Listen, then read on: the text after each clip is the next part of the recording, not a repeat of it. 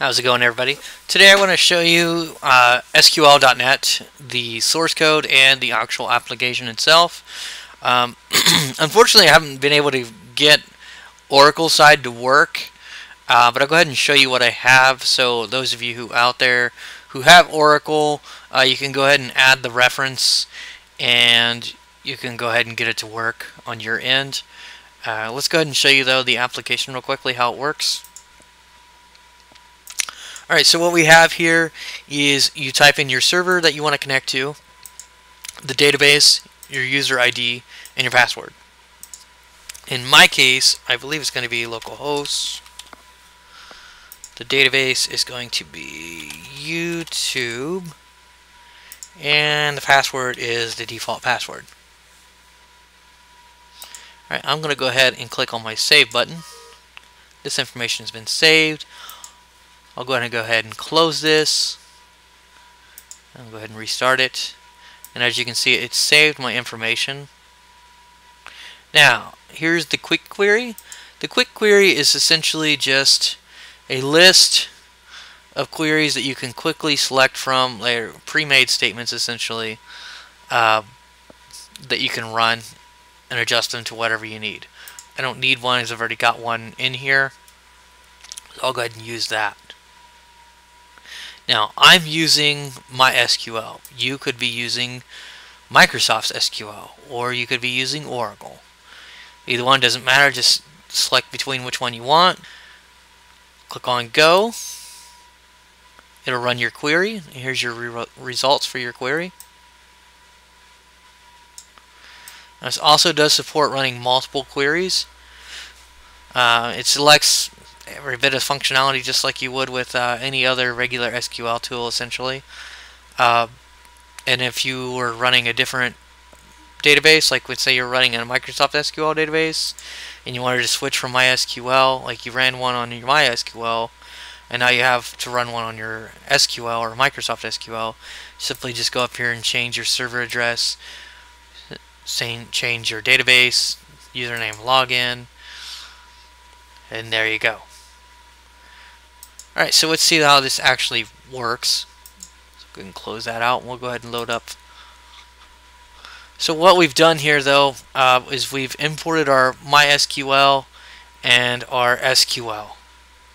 I don't have Oracle as I said so we need to add that reference um, and that's just because I can't find it. So what I've done here is as you can see I've made myself a note letting me know I'm missing that reference still. However, I went ahead and built uh, the uh, variables for it, even though these variables are not right. Uh, I would change those over to an Oracle um, if I had it, the reference installed, but I don't. Alright, so our load. Alright, so by default, MySQL is going to be the one that's going to be checked on load. And then here's your load settings, which are these very value uh, sorry values of here. It just simply saves them to the actual executable itself, so it stays encrypted. Uh, so you're good to go on that end. Now here's your type.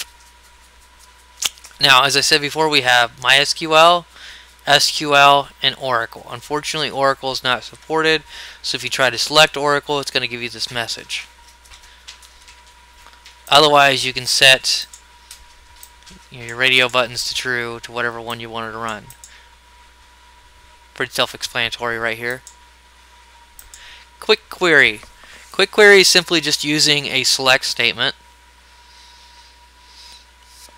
uh, in a combo box or a select case, I'm sorry. A select case for a combo box.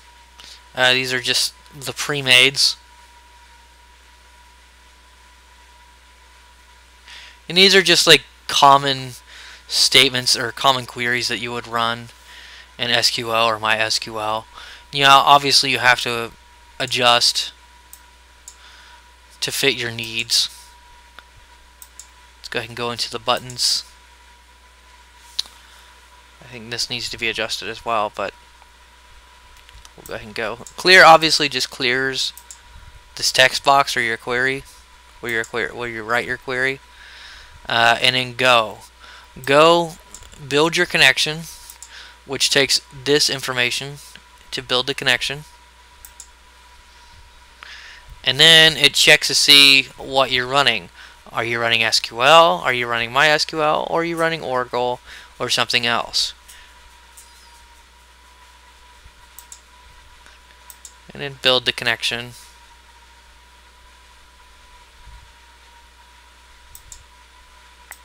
And then actually run the query.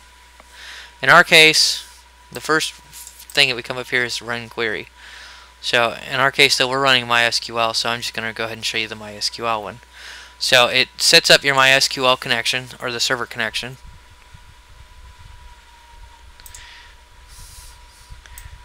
Build your query out of your text, out of the rich text box query box here. The command opens your connection executes the query, binds that data or that information to your grid view, closes your data reader, and then closes your connection. If it fails, because we're using a try catch, it'll send this message. Now, as you can see, I have the little note here for to do, you know, of course, Oracle. We need to add Oracle. Now, your SQL and your MySQL, these are virtually going to run exactly the same um, on how I built these. Instead of using MySQL, though, you're using SQL. And Oracle would be the same as well on how you're, you know, building your connection or running your query. So, save connection. What this is doing is it's simply just going to try to grab this information and save it to your My Settings. And these are the variables for your My Settings. If you don't have My Settings, it's probably because you're using Express. I'm using Ultimate, uh, Visual Studio Ultimate. So I have all the bells and whistles. You may or may not have that. If you don't have that, you can use your storage method as to where, where I'm using mine on my load here to load those values this way you can simply save uh, your storage right here, which is why I built this. You can simply save this to like a text, a text document or something like that, and then on load, you can load that text document and those values um, into your boxes that way. Alright, and then finally we have our mouse events. I'm only going to show you the Go because this is pretty basic stuff right here. If you don't know how to do a mouse event, there's probably an issue. Um, anyway, so what we have here is we have our button and our label. Alright, so all it's doing here is simply it's doing a simple mouse enter, mouse leave two events. When your pointer enters the image or the picture box, it's going to change the background image to this new image right there. It's also going to change that label, the color, the fore color of it to green. Now green means go, obviously. So when you highlight over it, it's supposed to turn your label to green.